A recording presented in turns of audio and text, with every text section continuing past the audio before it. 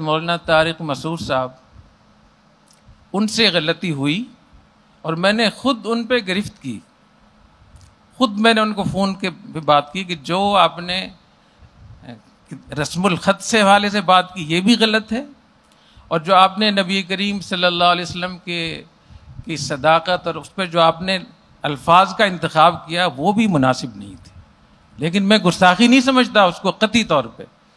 لیکن نبی کریم صلی اللہ علیہ وسلم کی شان اقدس اتنی بڑی ہے کہ اگر ہزارویں حصے میں بھی لاکھویں حصے میں بھی کوئی تھوڑی سی بھی کوئی شک ہو جائے، فوراً توبہ کر تو میں نے ان سے کہا کہ نہیں، صاف طور پہ کہیں کہ مجھ سے غلطی ہوئی ہے، میں توبہ کرتا ہوں، میں معذرت کرتا ہوں۔ الحمد للہ انہوں نے فوراً جیسی میں نے کہا تو انہیں دیر نہیں لگائی۔ تو یہ سارا انہوں نے کام کر لیا ہے۔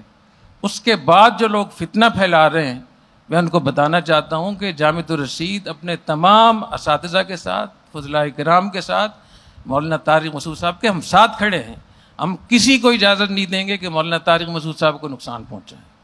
مولانا طارق مسعود صاحب ایک سچے عاشق رسول ہیں اور کروڑوں لوگوں کو انہوں نے نبی کریم صلی اللہ علیہ وسلم کے ساتھ ان محبت سکھائی ہے۔ کروڑوں نوجوانوں کو پوری دنیا میں انہوں نے دین کی طرف، قرآن کی صداقت اور نبی کریم صلی اللہ علیہ وسلم سے محبت اور عشق انہوں نے سکھایا ہے، اگر اسی بات کو ثابت کرنے میں ان سے اگر ایسے الفاظ نکل گئے ہیں جو صحیح نہیں تھے، جو نامناسب تھے، اور انہوں نے اس کی کئی بار معذرت بھی کر لی ہے، تو پھر آپ کے پاس کی کیا گنجائش موجودی کا فتنہ برپا کریں؟ نبی کریم صلی اللہ علیہ وسلم کے سامنے کیا پی، کیسے پیش ہوں گے آپ؟ تو میں آپ سے یہ بھی درخواست کرنا چاہتا ہوں کہ مولانا طارق مسعود صاحب کے اس معذرت کے بعد مولانا طارق مسعود صاحب کا ساتھ دیں، ان کو سپورٹ کریں۔